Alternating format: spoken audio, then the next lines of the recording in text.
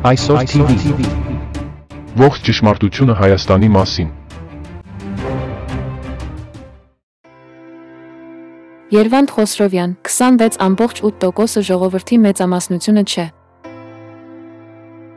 Երվանդ Խոսրովյանն իր Facebook-յան էջում գրում է.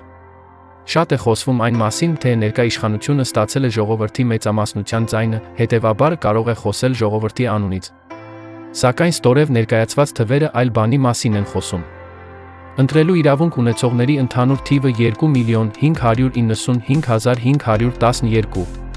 Ընտրություններին մասնակցել է 1 միլիոն 281997 49%։ ԿՊ կուսակցությունը ստացել է ձայների 692278 քվ։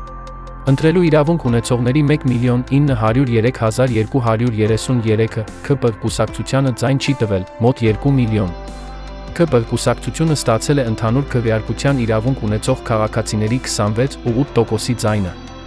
26.8%-ը ժողովրդի մեծամասնության ձայն համարողները կամ թվաբանությունից շատ թույլ են կամ մանիպուլյատորներ են։ Բաժանորդագրվեք այսօր TV ալիքին։